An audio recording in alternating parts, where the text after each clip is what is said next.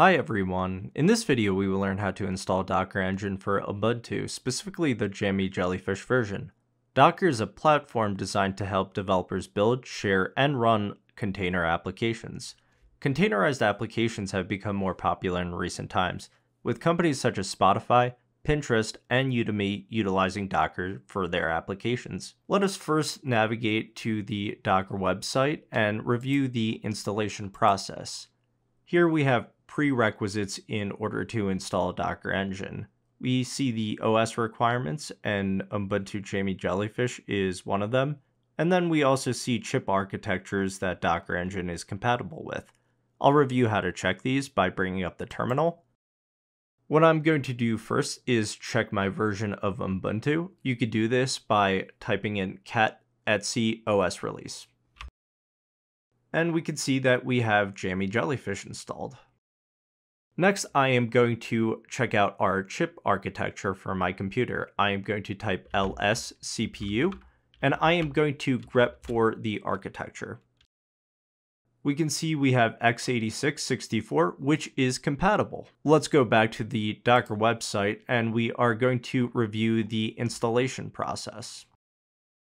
We'll run the commands here. First, we are going to set up Docker's apt repository. Going back to my terminal, I am going to chain all of these with the AND operator. Once we've done that, let's go back to the website.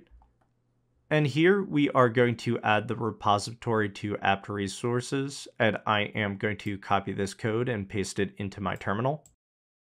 Going back to the website, I have this code block that is going to install Docker itself. Let's copy the code and bring it back we can hit capital Y to continue. Depending on your internet connection, this could take a few minutes to run. And I am going to check that Docker is installed by running docker dash dash version. And we can see our current Docker version here. What I have to do before I can actually run any Docker images within a container is we need to add a user to the Docker group. And I'm just going to add myself. We can see that here is my username. The way that we do this is we are going to do sudo usermod dash ag docker and then the user. For this to take effect, I am going to restart Linux with sudo reboot. Once we've restarted, I am going to bring up my terminal again. And to run our test image, we are going to run docker run hello world. We can see that the image was run and it wasn't locally on our computer, so it pulled this from Docker Hub. And we can see that this message tells us that our installation appears to be working correctly. Thanks everyone for watching. I hope that this video was helpful. If you found the video helpful, feel free to like and subscribe. You can also connect with me on LinkedIn, X, GitHub, Medium, and Odysee.